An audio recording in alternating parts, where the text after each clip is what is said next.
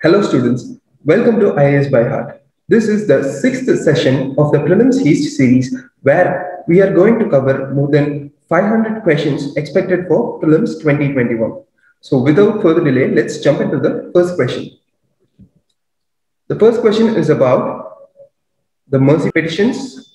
This was in news because of uh, the Rajiv Gandhi case convict, uh, Perarivalan.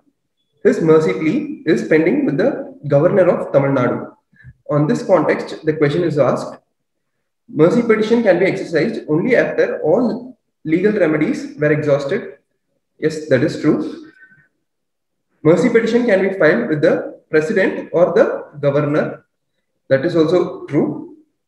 The scope of the pardoning power of the president under Article 72 is narrower is narrower than the pardoning power of the governor under Article 161. So if you see, we know that the pardoning power of the president is greater than that of the pardoning power of the governor. So if you remove the third option, the answer comes to be A or B. And uh, the first question, the first statement is also true.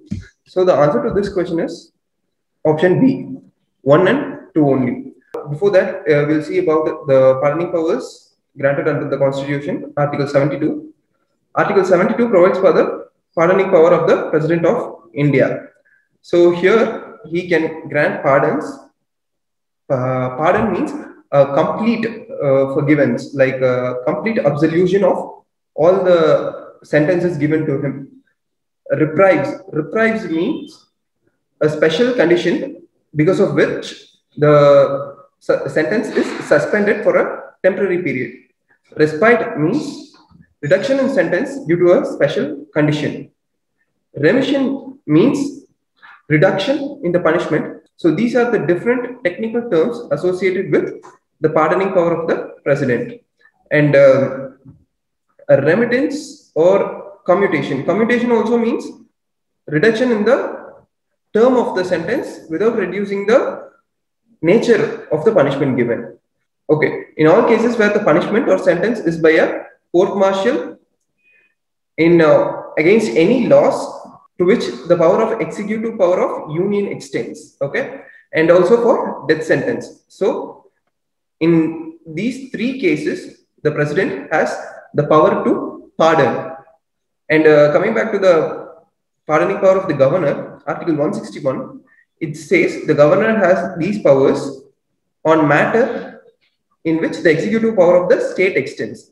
This power is obviously limited or it is very narrow compared to a president's power. And uh, the scope, the comparison of the scope is done here.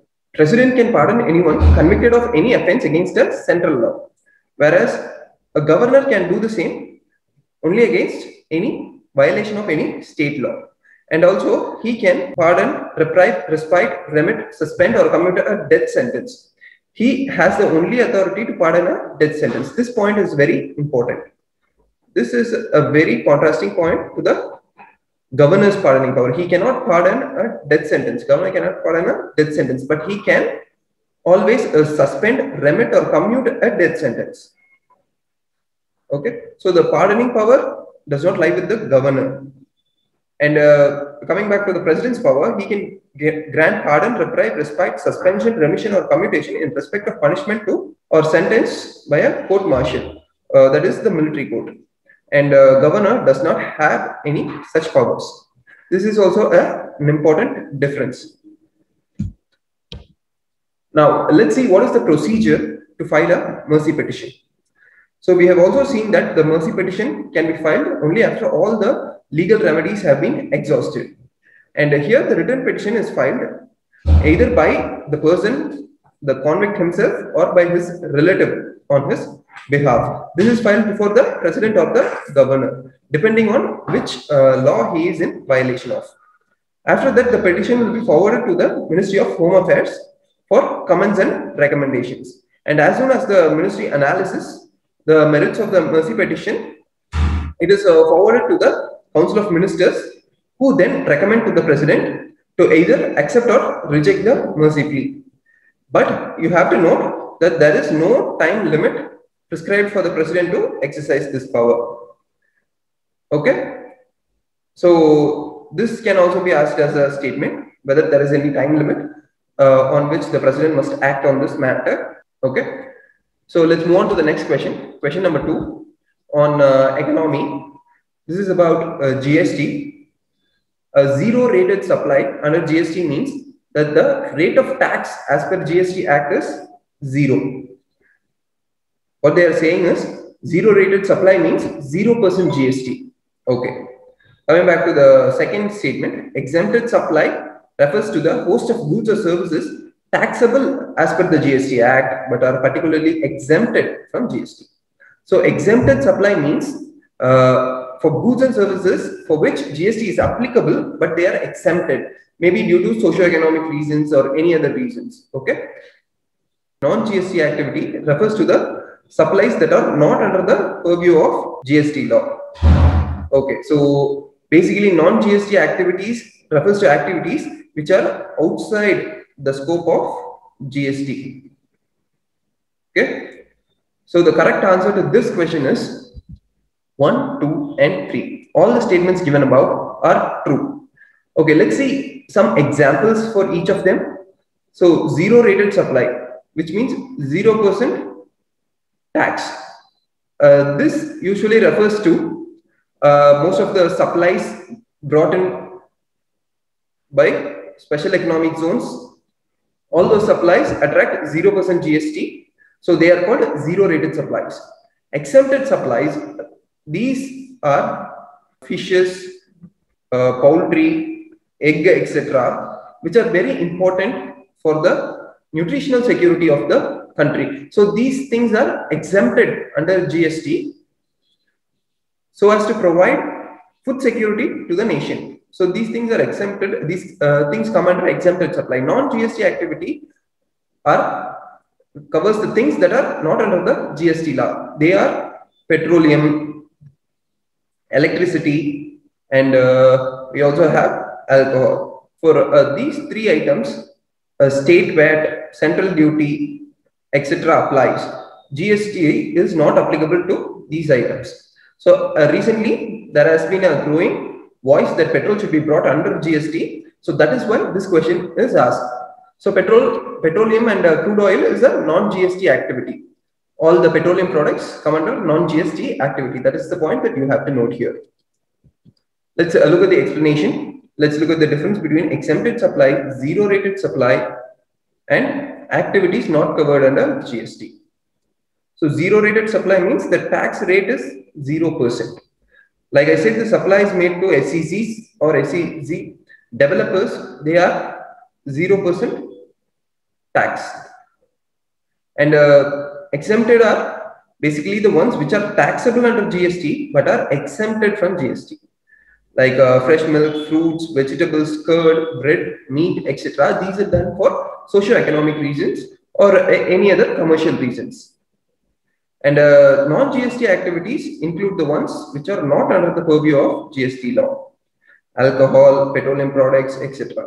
Electricity is also included here. Let's move on to the next question. Desert Knight. Desert Knight is a joint exercise between India and which of the following country? This exercise has recently concluded. This exercise was between Indian Air Force and the France Air Force? The answer is B. Let's look about it in detail.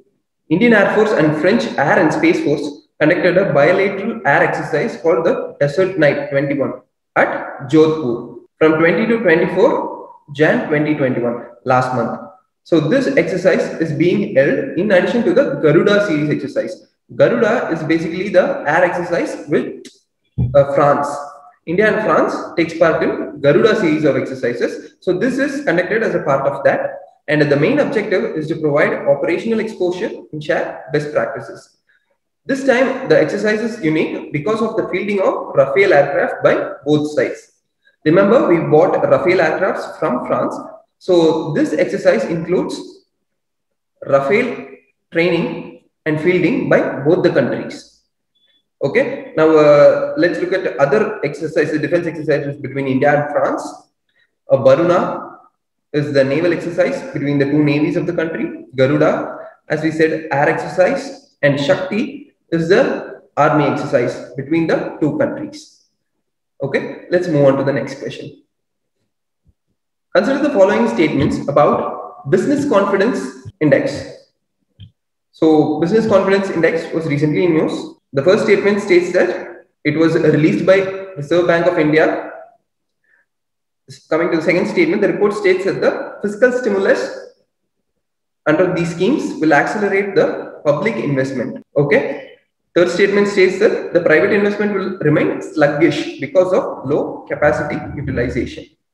So the important thing to note here is whether this index was released by RBI or not. We know that consumer confidence index is released by RBI. But this index, business confidence index, is not released by RBI. So the answer to this question is option C, 2 and 3 only. Let's see why. Uh, like I said, business confidence index was published by National Council for Academic and Economic Research. This institute releases the business confidence index and it is an indicator of business sentiment across the Indian industry. And this finding is based on responses from 500 firms. So the key takeaways is uh, you have to note index talks about a V-shaped recovery in the business sentiments in Indian economy. And uh, the index also notes that a 29.6% increase between the third and second and third quarters of the financial year in the business sentiment. It is uh, the increase is due to the COVID-19 vaccination drive that is happening in several countries. So people are getting hope and the Indian economy is following the recovery path and will show a positive growth in the third quarter. And uh, like we said, this uh, institution is a New Delhi based non-profit economic think tank, which releases the business confidence index. Okay. Note that RBI releases consumer confidence index whereas National Council for Academic and uh, Economic Research releases Business Confidence Index. Okay, let's move on to the next question. This question is about carbon sequestration. This is a very famous topic, which is uh, which we see in news very frequently. So carbon sequestration occurs as a result of anthropogenic activities only and typically refers to the storage of carbon. Actually, carbon sequestration refers to the storage of carbon that part is true. But uh, if you see whether it is a result of anthropogenic activities only or not, that part of the statement is false. It is also a natural process. Okay. Now let's uh, see the second statement. Better oil recovery as a result of stored carbon in underground chambers is one of the advantages of this process. So better oil recovery can it be done by uh, carbon sequestration? Yes. Let's see how in the explanation part. And the third statement says that it can also lead to ocean, ocean acidification. This is also true. The answer to this question is C, 2 and 3 only. So carbon sequestration is the carbon storage process in uh, plants, soils, geological formations, and ocean. So carbon can be stored in any of these items. The carbon sequestration occurs both naturally and as a result of anthropogenic activities. Let's see the different types of carbon sequestration. The first one is terrestrial carbon sequestration and it is the process through which CO2 is absorbed by trees, plants through photosynthesis and stored as carbon in soils and biomass. This is terrestrial carbon sequestration using biomass. The other type is geological carbon sequestration. Here carbon dioxide is stored in oil reservoirs, gas reservoirs, unminable coal seams, etc. And uh, this is how it can lead to better oil discovery because once you store CO2 inside these gas reservoirs, they might accelerate the oil formation process. So that's, uh, that is why it can result in better oil discovery And uh, if you see the third point about ocean carbon sequestration, oceans absorb, release, and store large amounts of CO2 from the atmosphere. How can we accelerate this ocean carbon sequestration? This can be done by enhancing the productivity of ocean biological systems through iron fertilization. When you do iron fertilization, it will stimulate the phytoplankton production. So once uh, phytoplanktons are produced in more quantity, photosynthesis will happen. And we just now saw photosynthesis is an important factor of carbon sequestration and also injecting CO2 into the deep ocean. This can also be done. So let's see a small video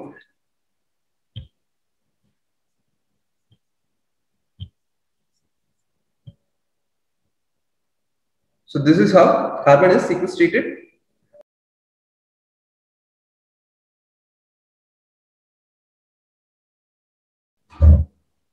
And this is in the sea floor. Okay, let's uh, see the challenges of artificial carbon sequestration.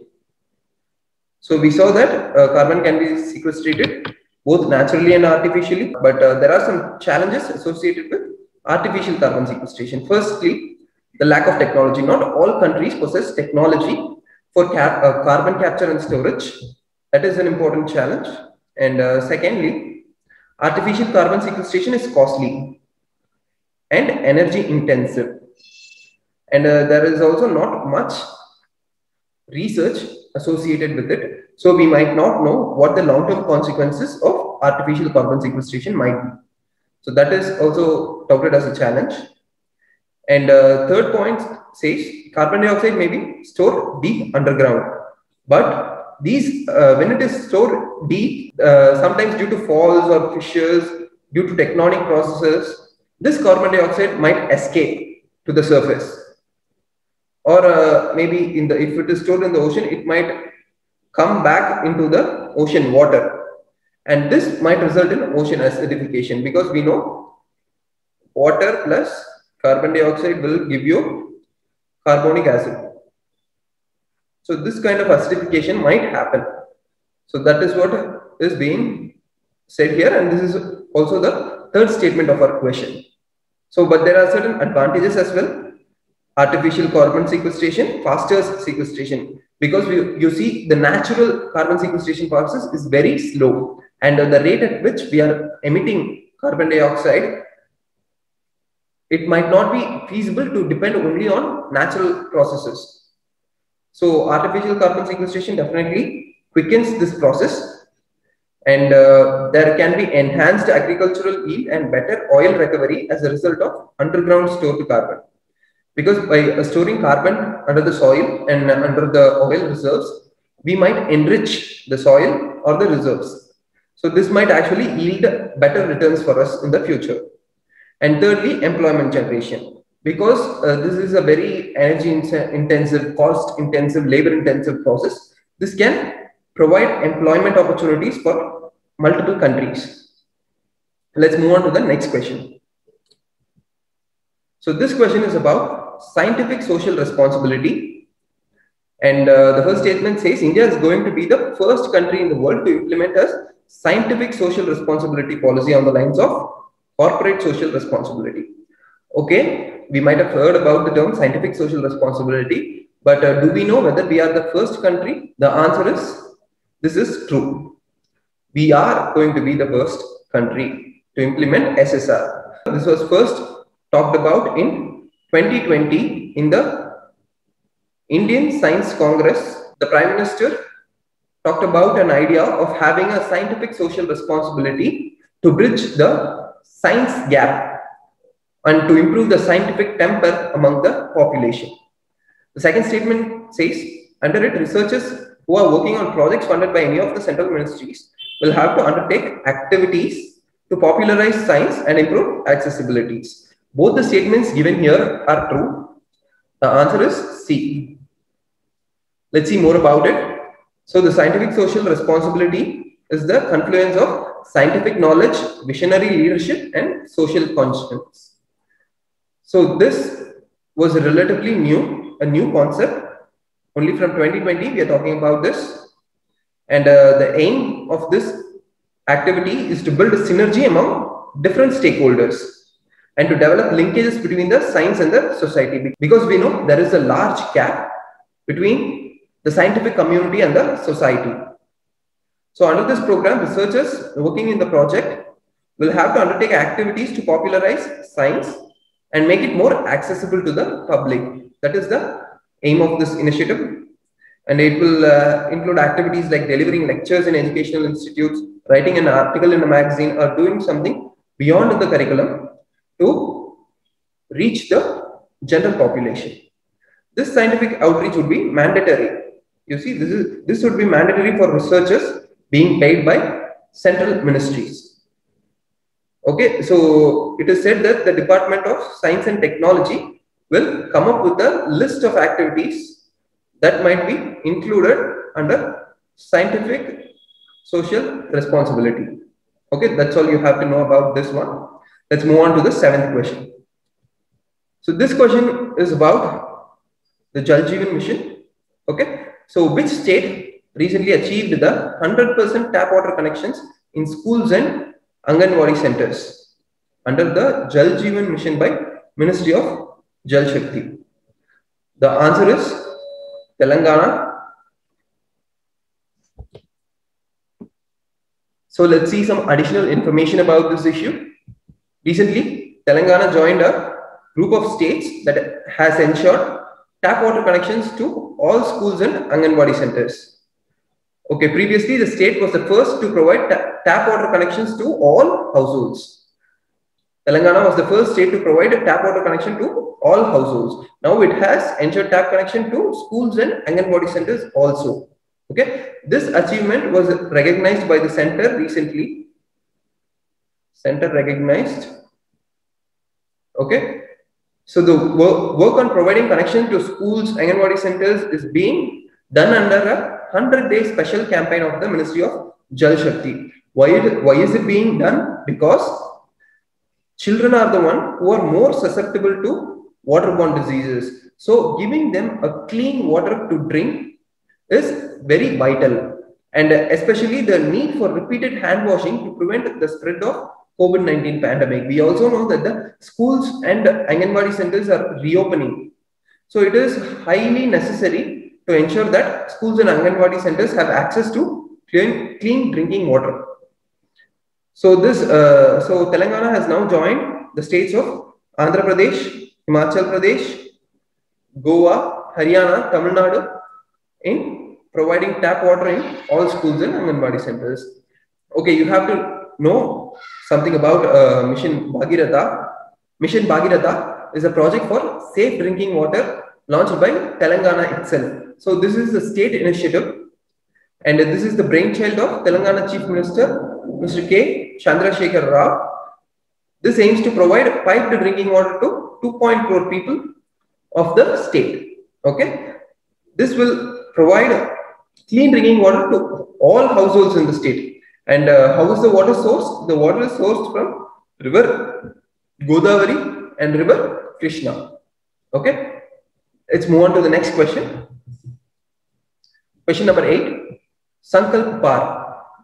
So Sankalp Parv initiative was in the news recently and uh, this was launched by which of the following ministries? That is being asked. Sankalp Parv was launched by the Ministry of Culture, option B. So what does it Sankalp Parv deal with? So the Sankalp Parv deal with ensuring a clean and healthy environment by planting at least five Indian trees, uh, the trees which represent the herbal heritage of the country. So this was launched by Ministry of Culture based on the call of the Prime Minister. So these trees include Bargad, Avla, Peepal, Ashok and Bel. Bargad is nothing but the banyan tree. Avla is our uh, normal amla tree, the indigenous one and uh, we also have a peepal tree.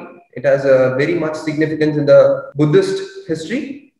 And we have Ashok tree and Bel tree, which gives us wooden apples. Okay. These are five indigenous trees which represent the herbal heritage of our country and this mission is to plant these trees wherever possible, either be it in the office or in your workspace or in your home.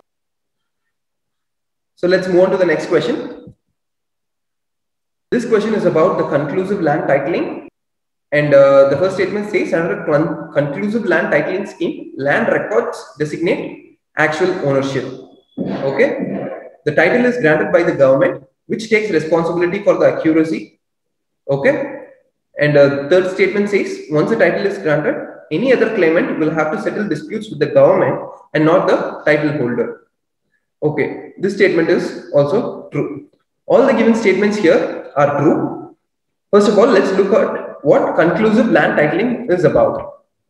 The answer to this question is B. So currently, right now, India follows a presumptive land titling. That is, it means that the land record is maintained with information of possession, which is determined through details of past transactions. Okay. Ownership is established on the basis of current possession. Whoever owns the land right now, he is the owner. That is what is presumptive land titling is about. But what is this conclusive land titling that the government is wishing to switch over to? So here the land records designate actual ownership.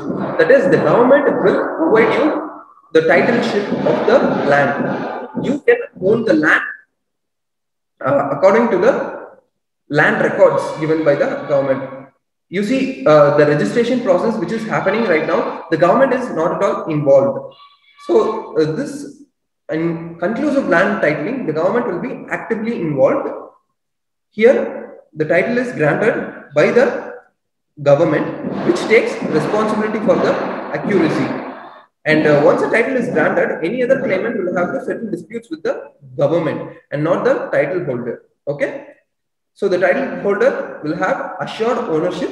So he can take any activities to improve the productivity of the land or to invest in the land in whatever form he wishes fit. Okay. So the government may provide compensation to the claimants in case of disputes, but the title holder is not in danger of any ownership loss. Okay. Let's move on to the challenges and advantages of this process. Here, the uh, digital land records will facilitate the switch to conclusive land titling and uh, the draft legislations will propose that the states move from presumptive to conclusive system. And uh, this will be a unified legal framework throughout India. Uh, let's see how it will help. It will reduce the land related litigations. You also have to note the existing litigations will be unaffected. Only the future land litigations will be altered by this because only after uh, conclusive land titling is implemented any other litigation that uh, comes henceforth will be covered under this act the pending legislations will continue as it is and uh, here the farmers will also get easy access to credit because they don't have to worry about uh, land disputes they they will possess the land title and they can show it in the bank and get uh, credit from formal sources and uh, this will also make the land acquisition easier. And uh, this will uh, make real estate transaction more transparent. And the title holders will also be eligible for compensation from the government. Okay. These are the advantages of this scheme. Modifying the land reforms is one of the important aspects of this government. And uh, they have made conclusive land titling as their next objective. Let's see uh, what are the challenges that might come in the implementation of this program. Here, the biggest challenges is the land records have not been updated for decades. Most of the states do not have proper digital land records. So it will not be possible to switch to conclusive land titling immediately because the states uh, lack any data. And uh, here the land records are also often in the name of grandparents with no proof of inheritance. So this might also come as an issue. We, uh, the government might not be able to provide proper land titles for most of the lands, especially the one uh, the farmers possess. And um, unless they are based on updated records, conclusive land titles could create even more problems. Okay, so this any step in this regard has to be carefully planned and crafted. Any quick, urgent moves might only result in confusion and anxiety for the population. Let's move to the last question for today. Dickinsonia, recently in news, is, is a fossil of an earliest known living animal. The answer is C. Let's see the explanation. Recently, researchers have discovered three fossils of the earliest known living animal, Dickinsonia, on the roof of Bhimbetka rock shelters. Bhimbetka rock shelters is in Madhya Pradesh. So this is a very important discovery because this is the first time they are being discovered in India apart from Australia, Russia and Ukraine. It is an ex extinct genus of basal animal. Basal is nothing but bilaterally symmetrical. You see, they are bilaterally symmetrical. Both the sides are exactly similar. So uh, that's why they are called basal animals. Uh, they lived during the Ediacaran period. And the individual Dickinsonia typically resembles a bilaterally symmetrical ribbed oval. Okay. And uh, researchers have also discovered cholesterol molecules in the fossils of Dickinsonia, which supports the idea that Dickinsonia was an animal. We are still not sure that whether it is a plant or a plant or animal, but uh, the cholesterol molecules present in this fossil makes a strong statement that they are they were an animal. The earliest evidence for animals on Earth is now the Dickinsonia 558 million years ago. Okay. So that's all we have here. Now uh, let's have a quick recap of all the questions which we have seen. And I want you to comment about any doubts that you have in these questions here. We saw about the mercy petition. It was in news very frequently because of uh, Perarivalan's mercy plea. And uh, we saw about uh, GST, that is uh, a zero rate GST. What does that mean? What is exempted GST and what is non-GST regime? And uh, we saw about the Desert Knight exercise under Garuda, an Indo-French uh, an Indo-French collaboration. We saw about a business confidence index and how it has improved because of the COVID-19 vaccination drive. We saw about carbon sequestration, different types of carbon sequestration. And uh, we also saw about a scientific social responsibility. And then we saw about Jal Mission, of Bhagirathi, of uh, state of Telangana. And uh, then we saw about Sankalp Parv of Ministry of Culture, where five indigenous heritage trees are planned to be planted and promoted. And then we saw about conclusive land titling, its uh, advantages, challenges, etc. And then we saw about the earliest living mammal, Dickinsonia, which was found recently in Bhimbetka caves for the first time in India. So if you have any doubts regarding these questions, please mention in the comment box below. I would be really glad to explain you any of these points again. And uh, do you have any other questions regarding various other programs which are being conducted by IAS by?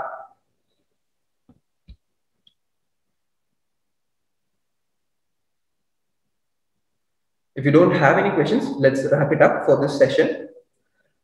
Stay tuned for upcoming sessions. I will see you in another video. Just keep watching these sessions to stay updated with current affairs and also prepare for UPSC 2021. Thank you.